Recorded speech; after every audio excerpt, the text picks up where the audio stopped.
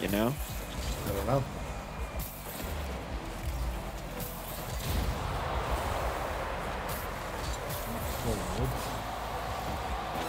Hmm. Getting pretty good at these like little pre-flip passes. I think it takes resin, maybe.